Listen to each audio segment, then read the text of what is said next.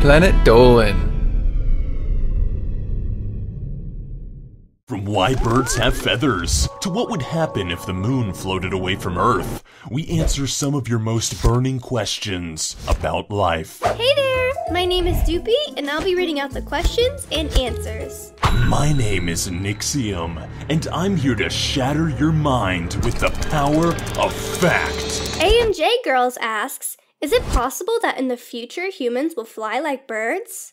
People are already able to fly now, but the reason why they don't is that none of them are actually strong enough to get the momentum to fly. I mean, look at this. Do you really think you can compare to this? In a literal sense, no. We will never be able to fly like birds in the way that they flap their wings up and down. However, there are ways that we can technically fly with the use of wingsuits and mechanically powered devices such as the jetpack and the jetwing. Typical Tropical Music asks, would it be possible to create dinosaurs in this century? Create dinosaurs? Why would you ever want to bring back those jerks? Listen, I have seen the movies and I know what would happen. You think amusement park lines are long now? Just wait until we have these 10 foot long lizards getting on all the rides, breaking them before we even have our turn.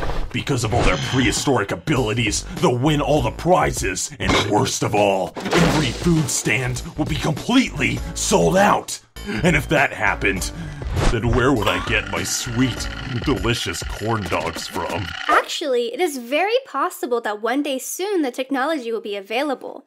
Through the use of cloning and splicing of DNA, we theoretically will be able to recreate actual living, breathing dinosaurs.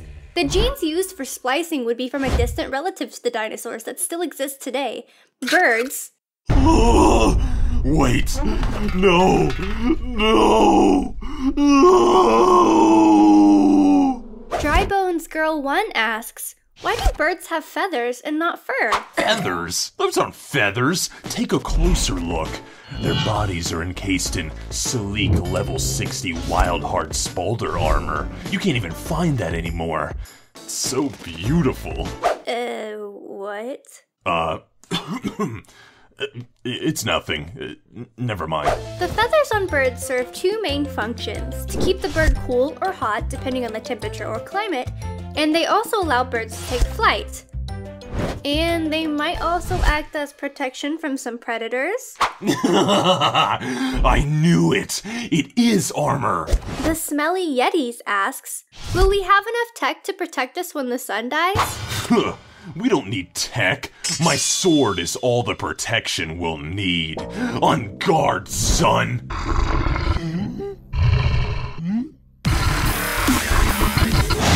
Unfortunately, technology will never really be able to combat against the sun's death. When the sun dies, it's going to let out a gigantic explosion that will vaporize all surrounding planets. However, tech can save us if we can advance to the point where we're able to travel outside the galaxy. We do have a few billion years, so there's plenty of time at least. I think I'm blind. Yep, definitely blind. Alright, well, you win this round, son. You win this round. Omega Librium asks, what is the most expensive material in the world? Oh man, where to begin? The chromatic sword, the haunted memento, uh, Zathorian fire stick.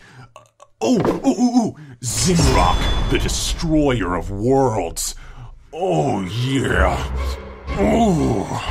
Antimatter, along with being one of the most rarest things we know of and almost impossible to obtain, is by far the most expensive material. It is marketed and estimated at 62 trillion per gram.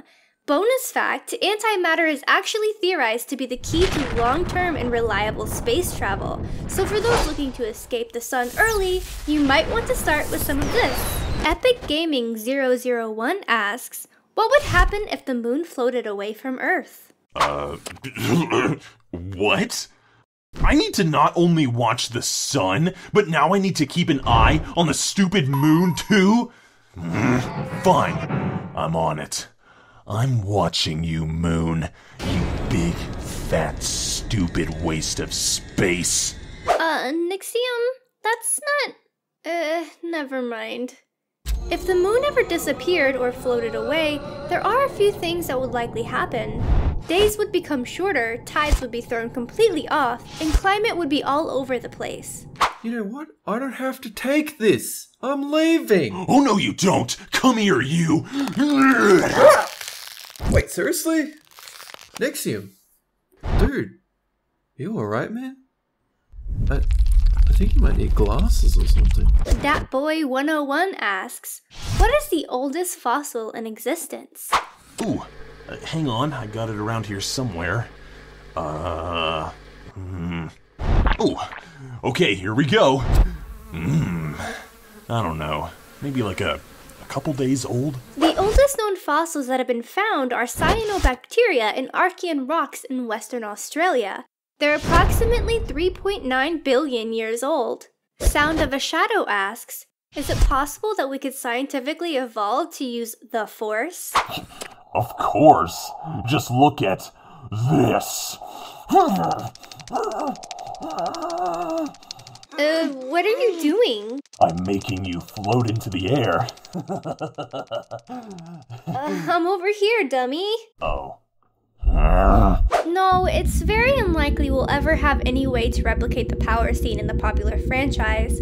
The closest thing we have to it is telekinesis, which is the power to move objects with your mind.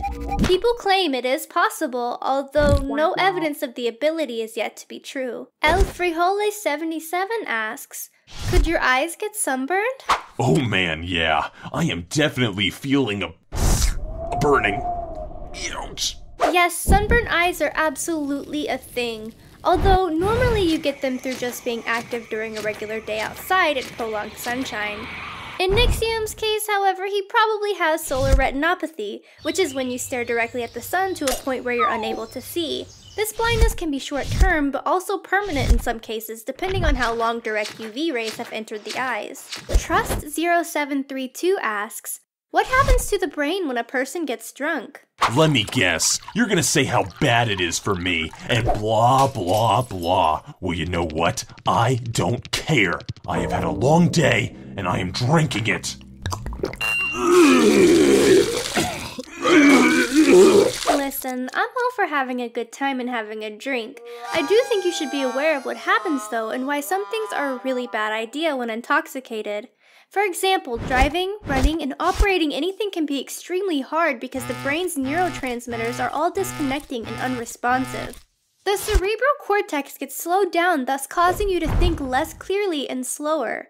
All senses are stunted, and if too much is consumed, communication from the brain to the body that regulates breathing can shut down as well, causing death. So just be careful when you do drink and do so under all legal laws. Any closing thoughts, Nixiom?